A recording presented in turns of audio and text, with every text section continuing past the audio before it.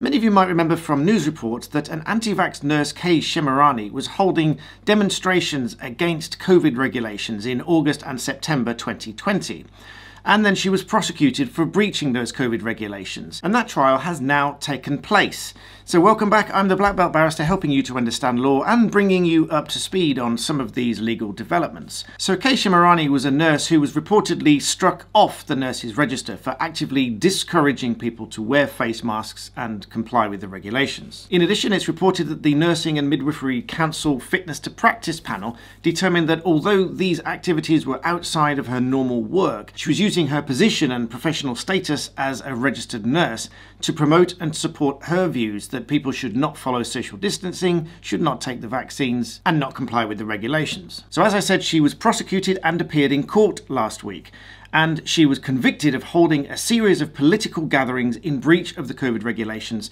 together with a co-defendant, Fiona Hine. Both were prosecuted in Westminster Magistrates Court, and next month, also, Piers Corbyn, brother of Jeremy Corbyn, will also be prosecuted for similar offences along with others. And this news is obviously going to be met with very mixed views. But either way, please like the video if you like these legal updates. Remember to subscribe and thanks for watching. And if you'd like your questions to be answered in a future video, you'll see a join below where you can join membership to my channel and your comments will then stand out from the other thousands of comments and your question might find its way to another video.